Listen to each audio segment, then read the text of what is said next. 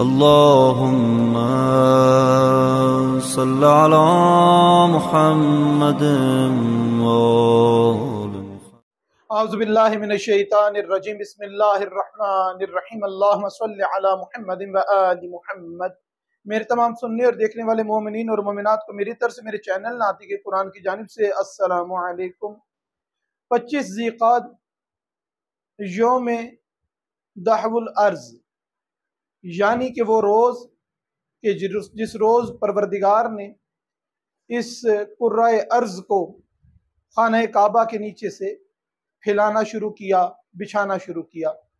या यूँ कहें कि परवरदिगार ने कुन कहा और वो ज़मीन का खाना काबा के नीचे से फैलती चली गई। खाना काबा कुरान मजीद की आयत मजीदा के मुताबिक वो पहला घर है मक्का में जिसको परवरदिगार ने लोगों की हिदायत के लिए बनाया अब जब वो घर बनाया, उसकी छत भी थी, उसकी दीवारें भी थी, उसका फर्श भी था। ये बिल्कुल ऐसे ही है जैसे खुदा ने आदम के पुतले को बना के रख दिया था। बाद में जाकर उसके अंदर रूह फूकी गई। इसी तरीके से इस घर को भी बना दिया गया था और बाकी जो ज़मीन का सिलसिला शुरू किया गया, वो खाना काबा की ज़मीन को ही वसअत इतनी दी गई कि वो इतनी वसी अरीज दुनिया में तब्दील हो गई।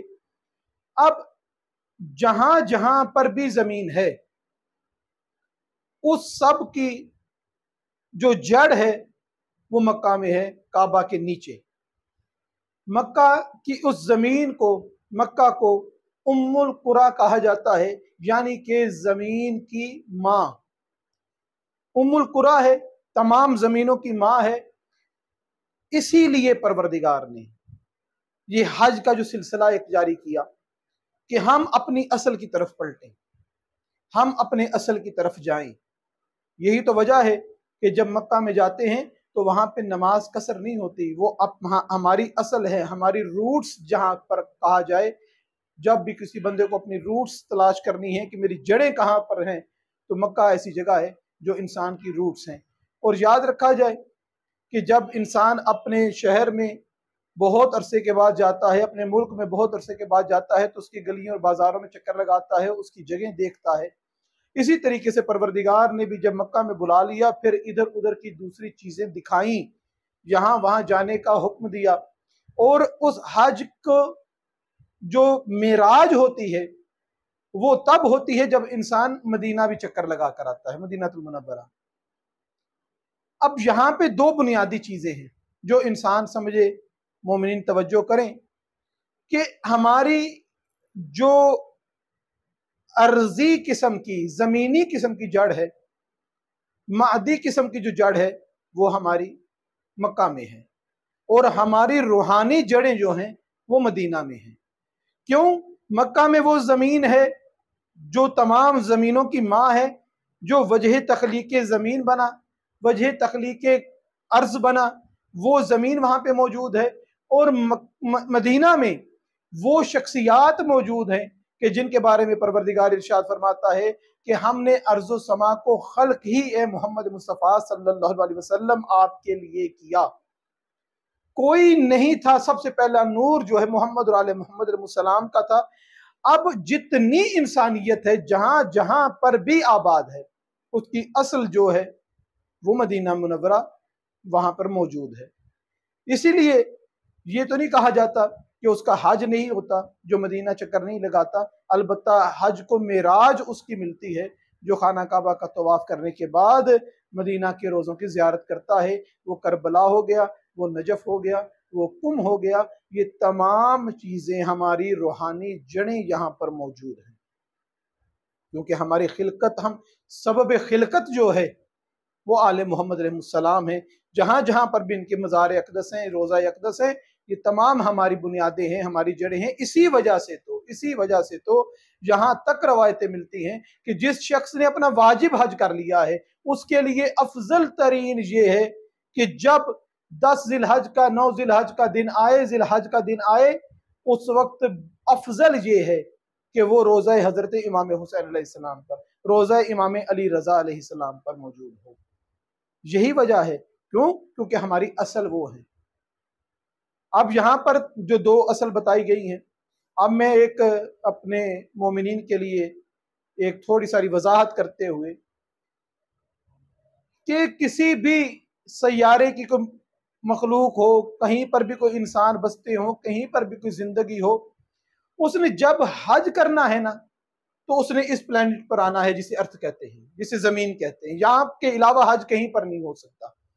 कराची वाले यहाँ मक्का पहुँचेंगे, सियालकोट वाले जो हैं वो मक्का पहुँचेंगे, अमेरिका वाले मक्का पहुँचेंगे। कोई ऐसी ताकतवर मुमलिकत नहीं जो ये कह दे कि हम हज जो है वो अपने मुल्क में, मक्का को छोड़ के अपने मुल्क में कर सकते हैं। ये तो इस दुनिया को छोड़े, इस दुनिया से बाहर भी अगर कोई प्लेनेट पे कहीं ज़िंदगी मौजूद है तो उसका भी हज तब होगा जब यहाँ पर आएगा। क्यों? क्योंकि इसकी यहाँ पर इबादत जो होगी वो यहाँ पर होगी, मगर उसकी जड़ जो है वो मक्का में नहीं, क्योंकि वो अलग प्लेनेट है, दुनिया अलग प्लेनेट है। जो उसकी मादी जड़ें हैं, उसका अपना वो प्लेनेट है जहाँ पर वो पला है, जहाँ पे रहा है, जहाँ पे उसका वजूद उसने पाया है जिस प्लेनेट के ऊपर। लेकिन इंसान होने के नाते, मखलूक खुदा होने के नाते, जो रूहानी जड़ है वो पूरी कायनात में किसी खत्ते में इंसान मौजूद हो। किसी सियारे और किसी प्लेनेट पे क्यों ना रहता हो, उसकी रूहानी जड़ें मदीना मुनवरा में मौजूद है। जनाब सरवर कायनात हज़रत मोहम्मद मुस्तफ़ा वसल्लम, इसी उम्मुल की वजह से यहाँ पे जो रहने वाले थे, उनको उम्मी कहा जाता था, जो लकब जनाब सरवर कायनात हज़रत मोहम्मद मुस्तफ़ा सल्लल्लाहु अलैहि वसल्लम का है कि उम्मी। और ये जो दिन है ये दुआओं की कबूलियत का है, ये मोमिन की ईद का दिन है, ये बहुत इबादतों वाला दिन है, रियाजतों वाला दिन है, ये वो दिन है कि जिस दिन परवरदिगार ने ज़मीन की इज़्ज़त में इजाफा कर दिया, अर्ज़ की इज़्ज़त में इजाफा हो गया। कैसे इजाफा हो गया? एक लाख चौबीस हज़ार अंबिया के उतरने की जगह इसको करार दिया गया। इसकी इज़्ज़त, इसका मकाम, इसका मरतबा बढ़ गया। हमारा कोई घर हो, हमारा कोई फ्लैट हो वहाँ पर खाली पड़ा हो काफ़ी अरसे से, वहाँ पर इमाम खुमैनी जो हैं, वो तशरीफ़ ले आए, या आगा अली खामिनाई जो हैं, वो आ जाएँ तो मेरे फ्लैट की जो तकदीर है, वो तो कहेंगे ना, बदल गई है। आयतुल्लाज़म अली हुसैन सिस्तानी वहाँ पर अगर तशरीफ़ ले आते हैं तो मेरे उन, उस जगह का मर्तबा बुलंद हो गया, उसकी इज़्ज़त में इजाफा हो गया, इसी तरीके से परवरदिगार ने इस कुर्र अर्ज़ जिसे अर्थ कहते हैं, ज़मीन कहते हैं, इसकी इज़्ज़त में इजाफा किया कब? पच्चीस जीकाद को जब इसको काबा के नीचे से फैलाना शुरू किया। यहाँ पर आले अतहार की आमद हुई। यहाँ पर मोहम्मद मोहम्मद सलाम की आमद हुई। उनका रहना, उनका बसना यहाँ पे हुआ। इससे बड़ा शर्फ इस ज़मीन का क्या होगा? यही वजह है। इस उमल कुरा की वजह से जनाब सरवर कायनात को उम्मी कहा गया। क्योंकि ये मक्का में रहने वाले हैं उमुल कुरा के रहने वाले हैं। अब परवरदिगार जब भी कोई नेमत अता करता है तो आले मोहम्मद सलाम का तरीक़ेकार क्या है? या तो सजदों में परवरदिगार को शुक्र अदा करते हैं, या रोजा रख के परवरदिगार का शुक्र अदा करते हैं। परवरदिगार का शुक्र अदा करने का तरीका जो आले मोहम्मद से मिला है, वो यही है, या तो सजदों में गिर जाओ, या रोजा रख लो। अब इतनी बड़ी नेमत है कि जिस ज़मीन से ना जाने हमारी कितनी नस्लें खाती आई हैं, या कितनी नस्लें आने वाली हमारी खाएँगी, कितने अजदाद हमारे खाते आए हैं, इससे फ़ायदा लेते रहे हैं, यहाँ सुकूनत करते रहे हैं, इतनी अजीम नेमत परवरदिगार का जब वजूद हो रहा है तो यकीनन आले मोहम्मद सलाम के मकतब के मानने वालों को चाहिए कि इस दिन का रोज़ा रखें और शुक्र अदा करें परवरदिगार का। किताबों में नमाजें भी मिलती हैं, चार रकत नमाज़ है दो रकत नमाज़ है मुफाती जब आप खोल के देखेंगे तो उसके अंदर ये मिलेगी, लेकिन रोज़ा इतनी ज़्यादा फजीलत है कि मासूम फरमाते हैं जो इस दिन पच्चीस जीकात को रोज़ा रखता है, परवरदिगार उसके साठ साल के रोज़े जो हैं, उसका अजर अता करता है। और एक रवायत में है सत्तर साल के रोज़े। अब ना जाने हमारी एज कितनी होती है, परवरदिगार सत्तर साल हमें ज़िंदगी भी नसीब करता है कि नहीं करता हमारी ज़िंदगी बेशक सत्तर साल ना हो, साठ है, पचपन है, पैंसठ है, लेकिन अगर कल का रोजा हम रख लेते हैं, पच्चीस जिकात का रोजा रख लेते हैं तो हमारी ज़िंदगी जितनी भी है, उसके अंदर सत्तर साल के रोजों की इबादत जो है, उसका सवाब दर्ज हो जाएगा। जिनके जिम्मे वाजिब रोज़े हैं, माह रमज़ान के कोई कजा है, या कोई मन्नत का रोजा उसके जिम्मे है तो वो इस दिन अपना रोजा अगर रखेगा तो वो वाजिब की नीयत से रखेगा। वो वाजिब की नीयत से रखेगा। वाजिब क्या रोजा है? सुबह से रात तक मुकम्मल करना शर्त है। जो शख्स अपने रोज़े कोई कजा नहीं रखता, कोई उसकी गर्दन पे वाजिब रोजा नहीं है, वो इस दिन मुस्तहब रोजा रखेगा। सख्त मौसम है, गर्मी है, बच्चे हैं, हमारे घर में बुज़ुर्ग हैं। मुस्तहब रोज़े के लिए ये कहीं हुक्म नहीं है कि सुबह जब शुरू करें शहरी के टाइम से तो रात तक मुकम्मल करें।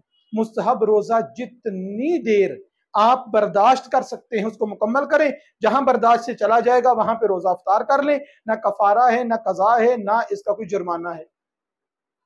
अब इस नीयत से कि हमें रोजा रखने का भी सवाब मिले, हमें रोजा खोलने का भी सवाब परवरदिगार अता करे तो इसमें करना यह होगा कि सब घर वाले रोजा रखें। बच्चे भी, बुज़ुर्ग भी सब सहरी करें और उसको फिर जल्दी ही घर वाले जो हैं, अफ्तार करवा दें। फकत इस नीयत से कि हम रोजा रखने वालों में भी शुमार हो जाए, रोजा खुलवाने वालों में हमारा शुमार हो जाए, मगर फकत रोजा वो खोल सकते हैं जिनके मुस्तहब रोज़े होंगे। वाजिब रोज़े वाले जो हैं, वो रात से पहले पहले रोजा नहीं खोल सकते। जब ये रोजा खोल लेंगे और ये जो रोजा रखना मुस्तहब और उसका खुलवाना, ये सिर्फ़ और सिर्फ़ सवाब की नीयत से हो। परवरदिगार के अहकाम का मज़ाक उड़ाने की नीयत कतन इसके अंदर मौजूद ना हो। अकीदत शामिल हो। इसके अंदर खलूस नीयत शामिल हो। परवरदिगारा, मैं बूढ़ा हूँ, मैं बच्चा हूँ, मैं गर्मी की वजह से रोजा रख नहीं सकता, मगर तेरा हुक्म है कि पच्चीस जिकात को रखा जाए। मासूम ने फरमाया है, मैंने इसलिए रख लिया है। लेकिन मेरी बर्दाश्त इतनी नहीं कि पूरा दिन मुकम्मल करूँ। मेरा मुस्तहब रोजा है, मैं इसको अवतार जल्दी कर लूँगा।